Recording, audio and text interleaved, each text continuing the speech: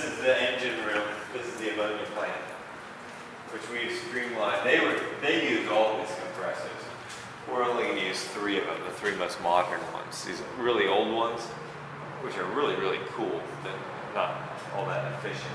These are actually, the ammonia is way more efficient than, than modern refrigerants, you know, the, mm-hmm. the CFC. We've, we've come in and we've got, we've redone all this piping. This is all new. You know, all this, this piping is brand new, um, which is why it looks new. And we simplified it. All, there's all these old tanks that they had in here. We're probably gonna come in and strip a bunch out. Uh, but these, these were in use. That, that was in use. And obviously, we've taken them out of service, and at some point, we will cut them up and take them out. So it's, it's actually more open than it was when we first came down here. Mm-hmm.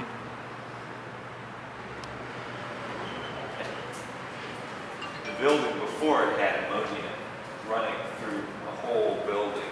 You know, that was refrigerant. That went to all the, the, um,